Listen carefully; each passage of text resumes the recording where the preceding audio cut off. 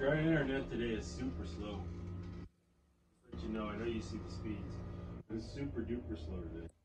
To tell you when you came in. That's why I went there and started taking pictures. Something's up.